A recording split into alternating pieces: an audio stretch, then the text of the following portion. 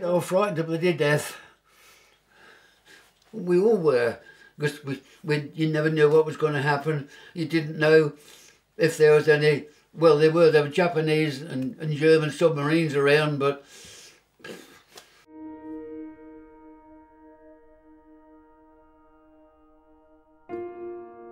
we was on the western side of the Pacific and the Americans were on the eastern side of the Pacific and we went up together until we reached Japan to take the capitulation at Japan.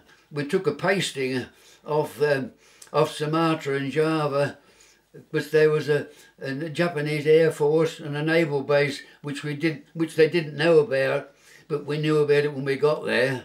The American aircraft carriers had got wooden decks we got steel decks on ours. But so once the, the Japanese kamikaze pilots realised that the Americans had got wooden decks, they concentrated on them to set them on fire. And my, I've got a, a vivid memory of those aircraft carriers disappearing over the horizon on fire. We, we were doing air sea rescue work behind the aircraft carriers so that when the the fighter bombers came back from from doing their damage to the Japanese mainland, when if they had got any damage, they say the the wheels wouldn't come down, so they land, crash landed, but they just pushed them off the deck, pilot and all, and our job, uh, just destroy behind, was to pick the to pick the pilot out of the plane before it sank. When we got to Japan, they didn't know whether the Japanese had depth charge the harbour. So the they decided that they weren't going to let the big ships go in because they would they were deeper in the water. So we had to go in the destroyers and fish around in the in the harbour to make sure that there was no depth charges about. I think that was one of the frightening moments of, of my life there. We're not knowing what was going to happen then.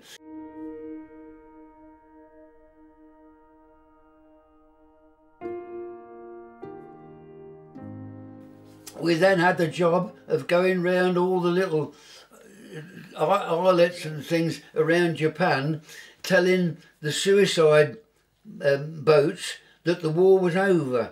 But we was carrying a Japanese naval officer and a Japanese army officer. We were flying the Nippon flag, the Royal Navy flag, and also the Union Jack, going round this around the island, telling them that the war was over.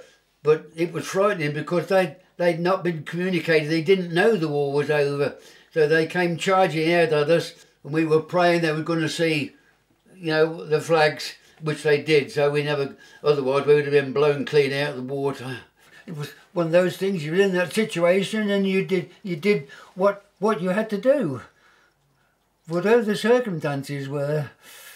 I went in as a boy and came here as a man.